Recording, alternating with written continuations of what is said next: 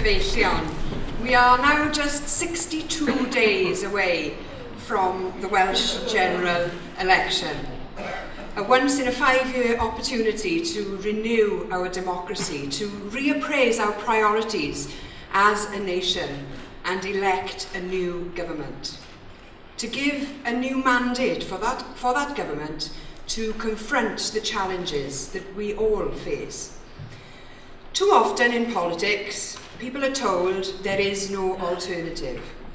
Plaid Cymru will show that there is an alternative, that there is nothing inevitable about the outcome of this election. Continued stagnation and gross and ever deepening inequality is not bound to continue. We can chart a different course, and it's time to believe that that is possible. Mae hi'n braf iawn i fod yma yn Llanelli.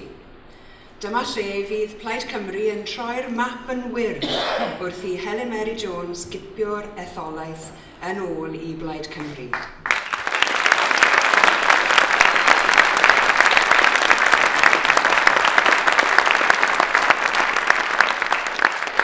Mae gan Sir Gar a Chymru gyfle i ddechrau o'r newydd ar y pumed o fai. Mae Sir Gar yn esiampl i ni o beth sy'n bosib pan mae pobl yn dweud digon yw digon. Cofiwn am fuddigoliaeth Gwynfor, 50 mlynedd yn ôl. Y fuddigoliaeth fawr cyntaf i'r mudiad cenedlaethol. Buddigoliaeth oedd yn holl bwysig i sicrhau datganoli i Gymru. Dechreuodd y chwildro yn y sir yma, a nawr, eleni, mae angen i ni sbardino'r genedl gyfan mewn i chwildro newydd. Y tro yma i sicrhau Llywodraeth gyntaf Plaid Cymru. Mae, mae gan Blaid Cymru dair uchelgais i greu Cymru iach, i greu Cymru clyfrach ac i greu Cymru fwy gyfaethog. Ar ôl 17 mlynedd o fethiant llafur, mae Cymru yn barod am newid.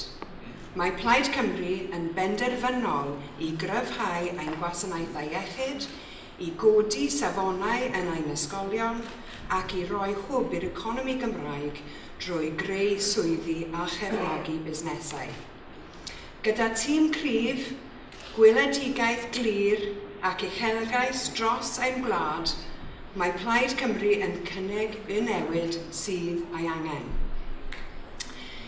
Yes, it's good to be back in this fantastic part of our country and I want to take this opportunity to pay tributes to the achievements that have been made in a short space of time by Plaid Cymru-led Carmarthenshire Council.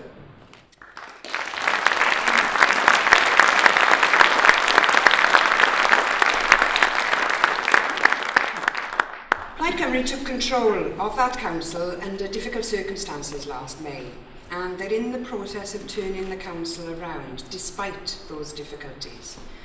Council leader Emlyn Dole has recently announced that almost 3,000 staff on the lowest pay grade are to get a 6.4% pay increase as the council moves towards paying a living wage.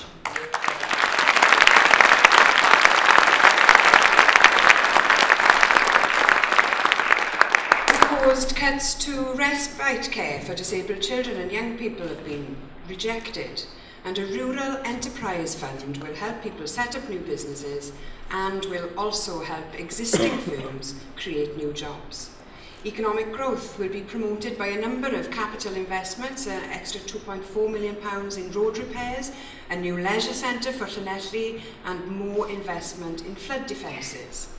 Labour said it couldn't be done.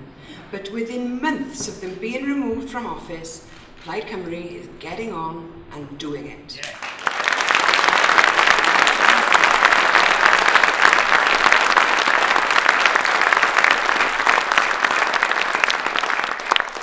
The Party of Wales rejects the mantra that there is no alternative here in Carmarthenshire and everywhere else. We have shown what that alternative looks like, and now we're going to demonstrate that to the entire nation.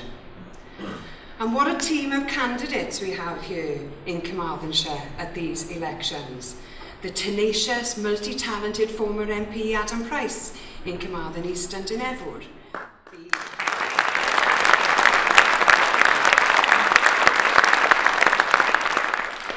the erudite and determined Simon Thomas in command and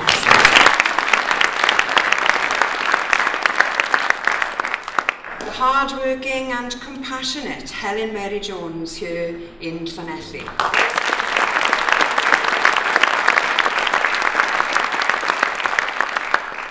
and with Police Commissioner candidate David Llewellyn, they are a formidable team with a fantastic wealth of experience and expertise between them.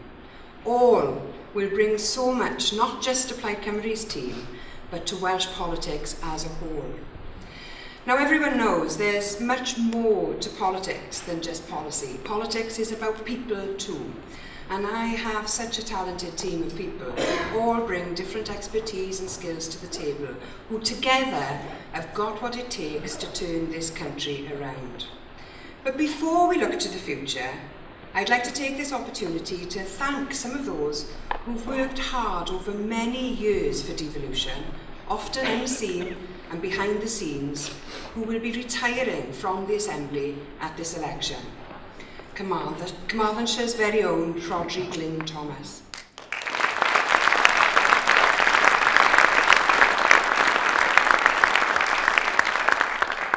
Alongside Alun Ffred Jones and Jocelyn Davies.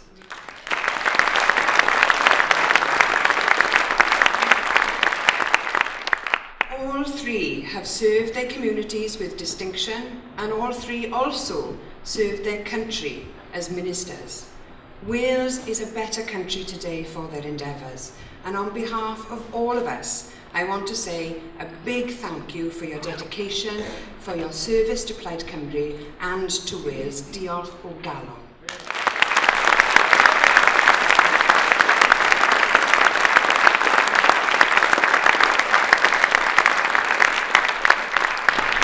And for the future, we have an excellent team of strong candidates to follow in your footsteps who are ready to lead for Wales, who are ready to tackle the problems that are facing all of us.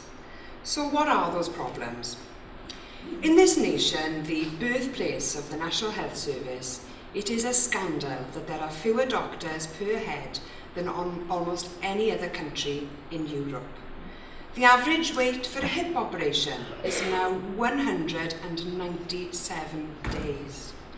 We have some GP practices turning all but emergency cases away. People lying on the floors of A&E departments, waiting for hours to be seen. The conditions that our hard-working frontline NHS staff have to endure because so many of their colleagues have quit in despair is shocking. and we want to put that right. This is what Labour celebrates as the halfway point of their decade of delivery. And in this nation, one of the pioneers of mass education, one in four of the poorest children leave primary school unable to read well. Funding for part-time further education courses under the current Labour government have been slashed by 50% and there are 90,000 fewer adults in part-time learning than there were 10 years ago. We have fewer engineers per head than any other nation in the UK you know, the people who make things. Too many of our schools are in a state of disrepair. This nation, the leading light of the last industrial re revolution, now lags behind in terms of wages, GVA, business startups. In fact, by almost every measure, our economic performance is either stagnant or in decline. Our steel industry is in a critical state, yet our current Labour government cannot be bothered to give it life support. 65,000 young people are out of work and jobs in manufacturing sector have been slashed by 21%. That's 40,000 jobs lost in Wales since 2001. Mm-hmm. Labour's decade of delivery has been more like decades of decay. But it doesn't have to be like this. People have a choice. Will they give Labour another five years to finish Wales off? Or will people vote to replace them with a team of people who believe in our country, who want to rebuild it and strengthen it? A team who believes in and wants to support our health workers, our teachers, our business leaders, our communities. Will they give the Party of Wales the mandate that we need to lead this nation? If Labour are allowed another five years, and if the current pattern continues, then by the end of this decade, two decades of Labour rule, I'd ask you to consider what the state of our public services and our economy will be. If people in Wales keep, it, keep doing what they've always done with their ballot papers, then Labour will keep on doing what they've always done to our NHS, to our schools and to our industries.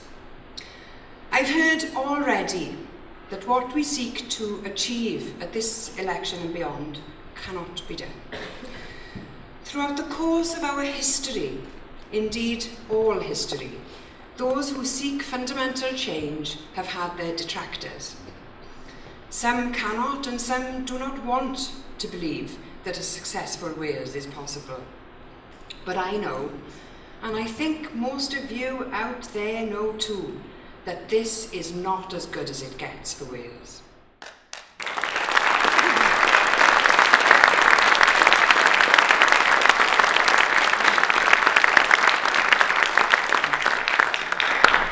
So many of you understand that our people have been taken for granted for far too long, that you might have given a lifetime of loyalty to one party, but you're now asking what you're getting back in return. And I would call on all of those people who are feeling this way to get behind Plaid Cymru this time.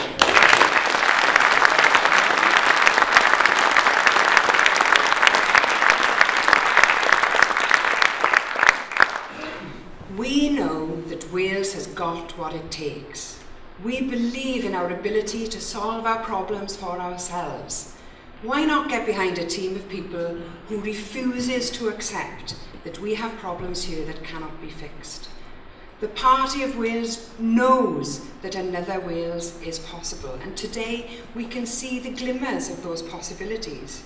Did you know that world-leading geneticists at Swansea University are pioneering efforts to eradicate the Zika virus? Did you know that scientists in Cardiff are playing a crucial role in uh, physics, in discovery, in the biggest discovery in physics in over a century, the long-awaited gravity waves breakthrough? Did you know that this country's creative industry sector is worth a billion pounds a year to our economy and employs nearly 30,000 people? And that Wales has a world-leading manufacturing sector in automotives and aerospace. We have unrivaled potential in green energy.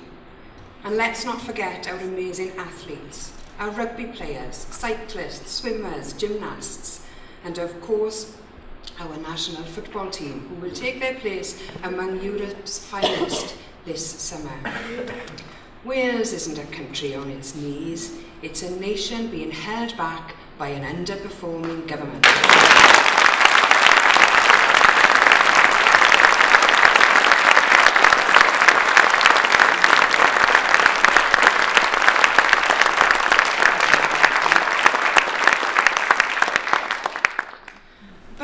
people in this forthcoming election not just to judge Labour's domestic record. Consider too how we can make our feelings known to the Tories in Westminster.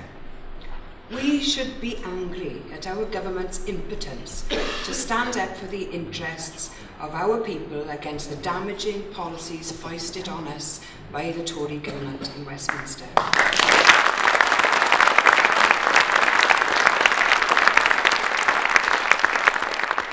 Just compare the situation in Wales to that of Scotland. The Scottish Government has managed to secure a financial deal that protects people in that country. The Welsh Government couldn't even secure for Wales a devolution settlement that would give us parity with London, let alone parity with other devolved nations.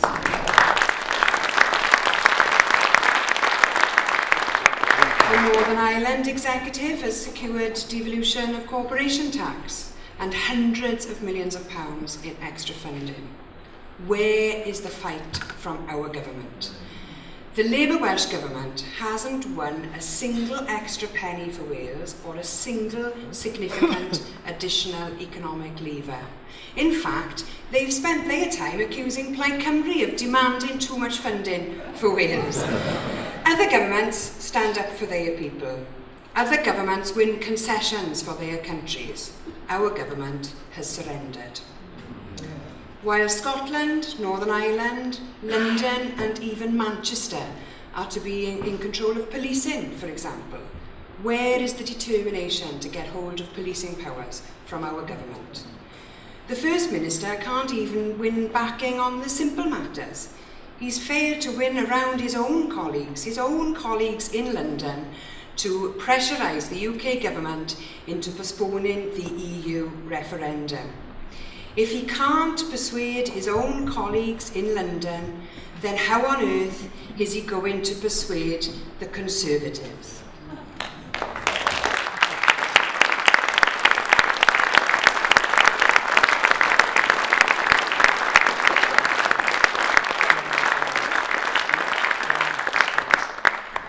Through their insistence on holding the EU referendum in June, the UK government is denying the right to all devolved nations to a full and uninhibited national election campaign.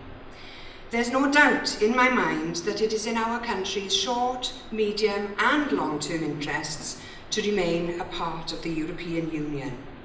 Yes, we want a full voice. Yes, there are aspects of that union that we would want to put right. And yes, its democratic structures can be improved. But without a doubt, the EU is an organisation that has facilitated the longest unbroken period of peace on this continent in history.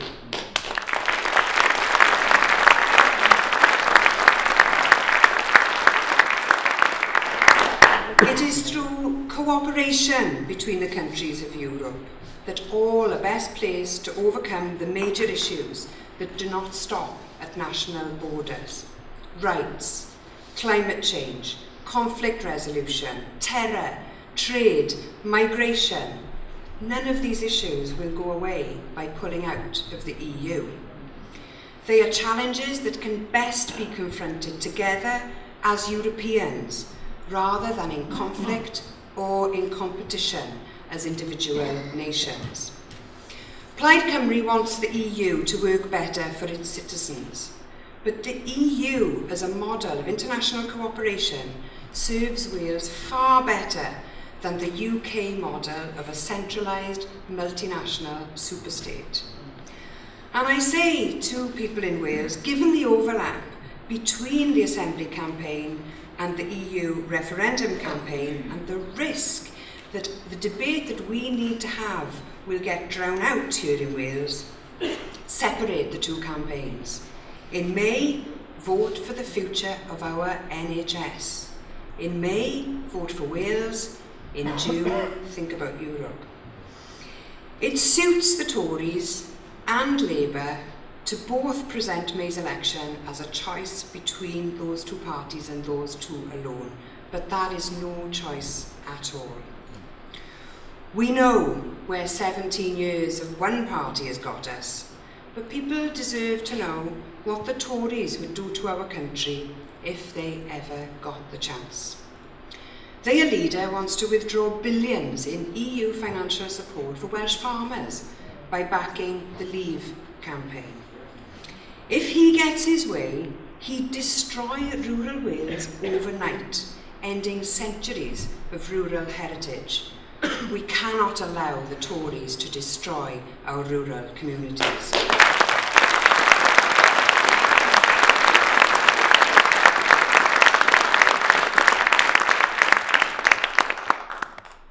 Cymru wants to broaden the prospects for all of our young people. We must give people from all backgrounds the chance to fulfil their potential so that they can all, every single one of them, get the most out of life. It'll be so much harder for the non-privileged if the Tories get their way. And just look at the disdain they've shown to our country. They've sought back to roll back the years on devolution. Even some Tory MPs want the fiasco of the current draft Wales Bill to end, and they've got their way now that there's a pause in the entire process. The Tories have always struggled to accept Welsh nationhood. In government, they have taken every opportunity to suppress the growth of our nation and its institutions.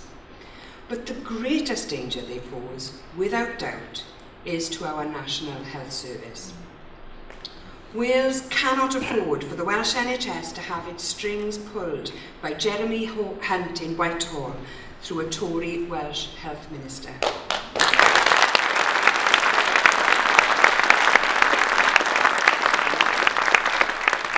The long-term implications of that spell disaster. Now, I don't want to see junior doctors treated as badly here as they were in England. We cannot afford to allow the Tories to privatise the Welsh NHS through the back door, as they are doing in England. There have been billions of pounds worth of private NHS contracts awarded in England since just 2013, and billions more are expected in the coming months. It would be near impossible to reverse the privatisation of the Welsh NHS.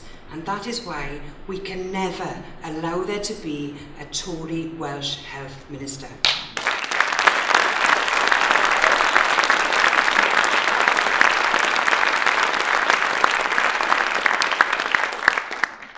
When it comes to the Welsh NHS, let people be in no doubt.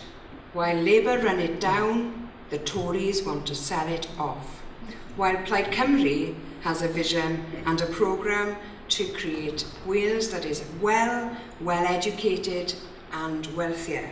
And our team has the energy and the dedication to make it happen. We have a comprehensive and deliverable programme of ideas that will build our country, the institutions and the infrastructure that well-functioning economies must have. My team has gone out to so many communities and we've listened to what people have to say. We've listened to their concerns and we've sought to find solutions. Our programme is designed to tackle what people tell us are their main problems, the state of the economy, our living environment, or the public services upon which we all depend. Plaid Cymru's solutions will enable us to leverage our small country advantage. It's a package of measures which together as a whole take advantage of our size, big enough to scale beyond the local, but small enough to be manageable. Plaid Cymru's policies are laid out in three ambitions with three steps within each of those ambitions. Our first priority is the nation's health. Our ambition is to see a Wales that is well, with a free, universal health service run for people, not for profit, kept in public hands for the public good. While many of you have told us about your positive experiences of the health service, and in particular you have praised the NHS staff, many NHS workers have told us how they are overworked and how so many of their colleagues are leaving the service altogether. We can't carry on like this. You told us about other problems with the health service, that if you're expected, suspected of having cancer, you shouldn't have to wait so long. Plaid Cymru's cancer contract will prevent cancer, support those with a diagnosis, end the postcode lottery for new drugs and treatments, and we will cut diagnostic waiting times so that no one has to wait longer than 28 days for a diagnosis or the all clear.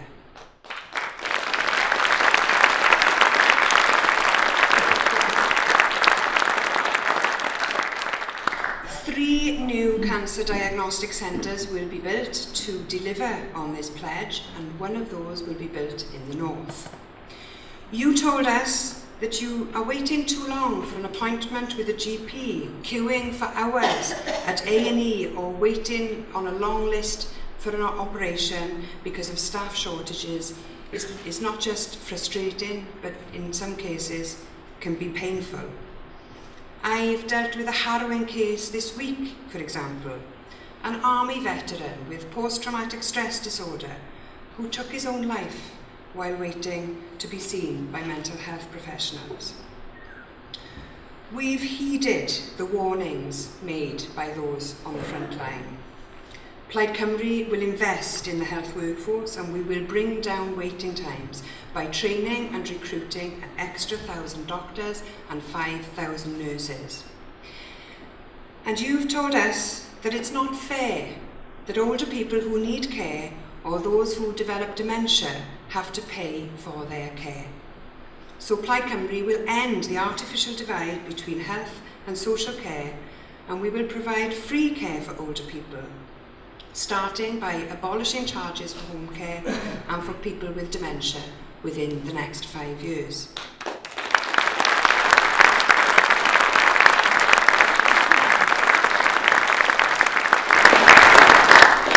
And we will pay for these commitments by ring-fencing the Welsh health budget, prioritising health, and we will make sure that the promised new money that comes to Wales for health will be spent in its entirety on health and social care.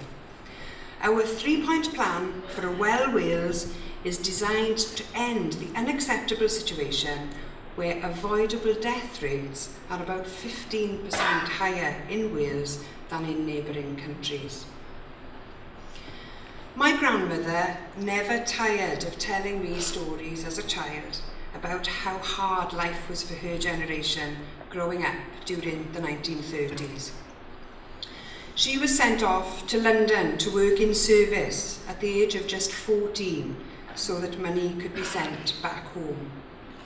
That generation endured great hardships and they made big sacrifices. And in return, they were promised that they would be cared for from the cradle to the grave. As well as honouring that promise to them in health, A Plaid Cymru government will also ensure that today's generation of children are given the best start in life. A Plaid Cymru government will not let our young people down. Our three steps forward for education will make sure all of our young people are catered for, from the cradle through to their career. Every parent without exception will say that they want the, the best start for their child. And the hope from every generation is that the next one is better than the last. Plaid Cymru will introduce a national cradle-to-career education system within which our young people will thrive. You told us that you know of many parents who want to work but are struggling to make ends meet because of the high costs of childcare. We will invest in early years education, beginning the process of creating a national childcare service, delivering free full-time places for all three-year-olds by the end of the next Assembly term. You told us that you want teachers to spend more time in the classroom rather than being tied down with paperwork. To cut bureaucracy, we'll work with the teachers and create a world-class profession by rewarding the highest skilled teachers and teaching assistants with a pay rise. You told us that you want to see our young people have the very best opportunities to thrive and work here in Wales to boost our economy. So we will fund our universities properly and we'll encourage graduates to come back home and contribute to our economic renewal by writing off up to £18,000 of their student debts. And to complete this circle, Plaid Cymru will guarantee a job or a training place for all under 25s and to fulfil that we will create 50,000 new apprenticeship places. Wales's success, politically, socially and in terms of improving our public services, hinges on turning around our economic fortunes. Plaid Cymru's ambition is to create a wealthier Wales, and this means closing the gap between this country and our neighbours. Among my first acts as First Minister in May will be to initiate talks with the UK Government to address the chronic and deep-rooted divide in economic prosperity between Wales and the rest of the UK. However, the full achievement of parity will require further economic powers. We will therefore initiate emergency talks with the UK Government to address the chronic and deep-rooted divide in economic prosperity between Wales and the rest of the UK.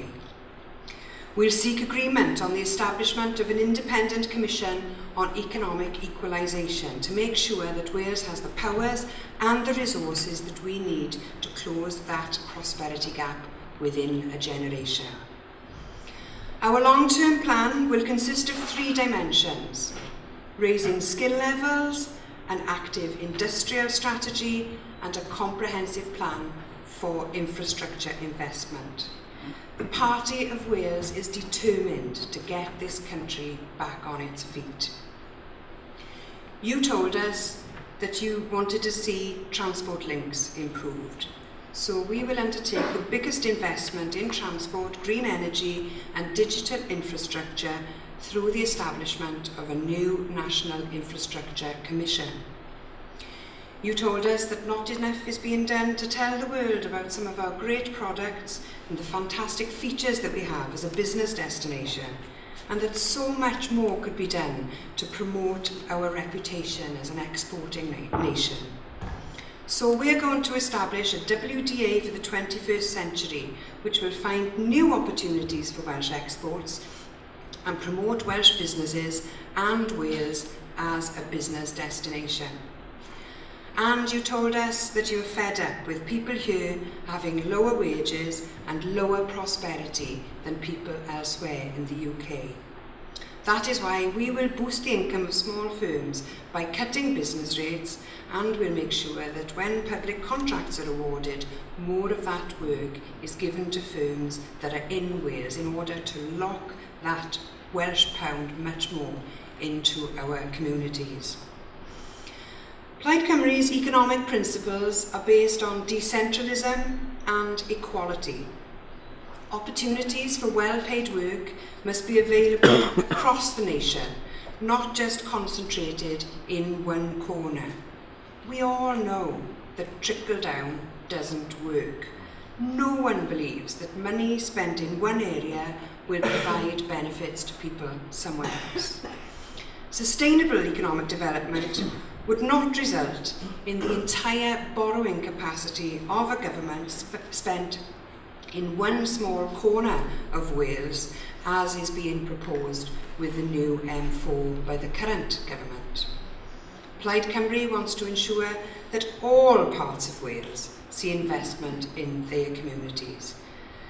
So our package of measures focusing on building a well Wales, a well-educated Wales and a wealthier Wales will improve day-to-day, -day, the day-to-day -day lives of our citizens and allow our country and everyone in it to realise their full potential.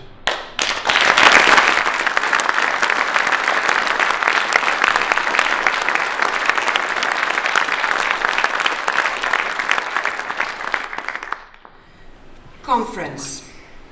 It's been 480 years since the first Act of Union.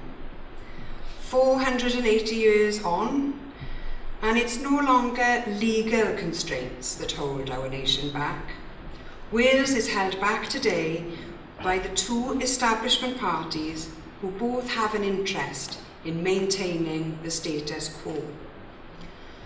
I've said many times that there is nothing inevitable about this country, and I sincerely believe that to be true.